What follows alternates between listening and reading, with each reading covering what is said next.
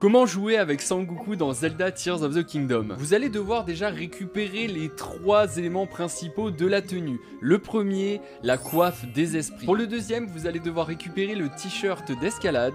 Et pour le troisième, le pantalon brasier. Si vous voulez récupérer ces trois éléments, je vous ai fait une petite vidéo sur la chaîne, n'hésitez pas à aller la regarder. Une fois ces trois éléments en votre possession, vous n'avez plus qu'à vous rendre chez le teinturier pour venir teindre vos trois éléments. Vous allez devoir également récupérer le pouvoir secret des Yega. Une fois tout ça en votre possession, vous allez pouvoir jouer avec Sangoku Super Saiyan 3.